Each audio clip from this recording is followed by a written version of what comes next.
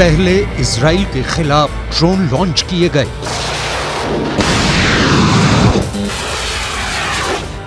बात नहीं बनी तो इसके बाद इसराइल पर क्रूज मिसाइल दागी गई। जब दोनों हथियार नाकाम हो गए तो इसके बाद इसराइल पर सबसे खतरनाक मिसाइल लॉन्च की गई।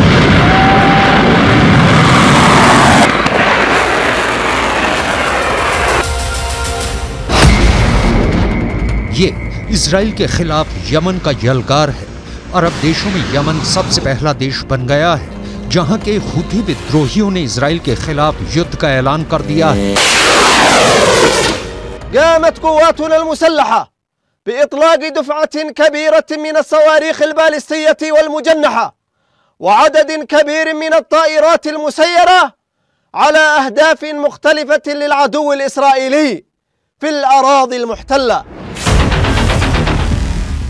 यमन के हुथी विद्रोहियों ने इसराइल को अपना दुश्मन नंबर एक बताया है, लेकिन उसके तीनों हथियार यानी ड्रोन, क्रूज मिसाइल और बलिस्टिक मिसाइल पहले हमले में ही नाकाम हो गए हैं और इसकी बड़ी वजह बना इसराइल का बहुत ही सटीक Arrow three missile defence system जिसकी तुलना रूस के एस फोर हंड्रेड से की जाती है। यही डिफेंस सिस्टम है, जिसके बलबूते ईरान की भी मिसाइलों को रोक लिया जाएगा। इसराइल में इस बात का भरोसा रहता है। जब एरो थ्री मिसाइल लॉन्चर से निकलती है तो समझ लीजिए कि बैलिस्टिक मिसाइल कोई भी हो, ये लंबी दूरी की रेंज तक उसे मार गिराएगी। जब हुथी विद्रोहियों ने इसराइल पर अपनी मिसाइल फायर की तो उसने यकीन माना कि ड्रोन और क्रूज मिसाइल चाहे फेल हो गए हैं, लेकिन इसराइल इस मिसाइल से खुद को नहीं बचा पाएगा। लेकिन इसराइल का ये डिफेंस सिस्टम फ़ौरन एक्टिव हुआ और उसने हूथी की बैलिस्टिक मिसाइल को मार गिराया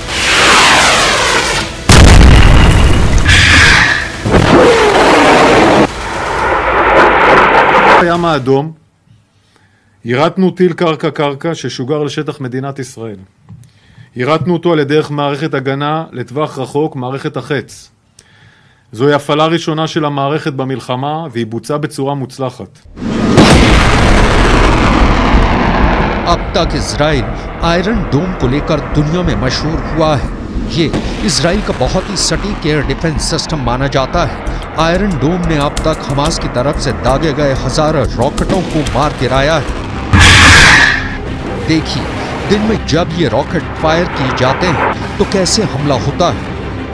पहला रॉकेट, फिर फायर हुआ दूसरा रॉकेट। इसके बाद लॉन्च हुआ। तीसरा रॉकेट। हमास के रॉकेट लॉन्च होते हुए इतनी साफ़ तस्वीर। हमास एक के बाद एक दस रॉकेट फायर करता है और फिर इसराइल के शहर टारगेट बन जाते हैं। गाजा में बमबारी के खिलाफ हमास ने अपना रॉकेट वाला गोदाम खोला हुआ है।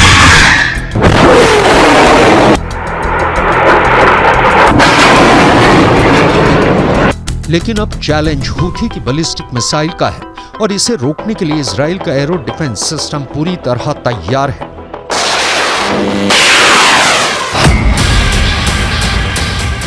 Arrow missile defence system 150 kilometre से ज़्यादा की रेंज तक बैलिस्टिक मिसाइल को रोक सकता है।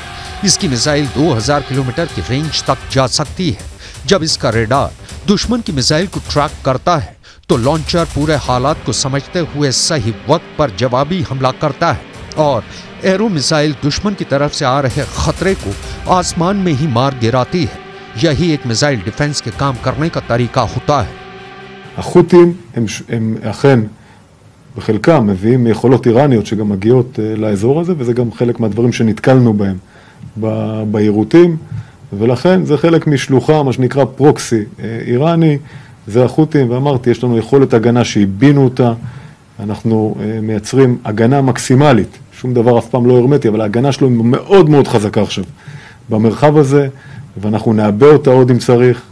אנחנו נייצר הגנה, מעטפת הגנה חזקה במרחב הדרומי של מדינת ישראל.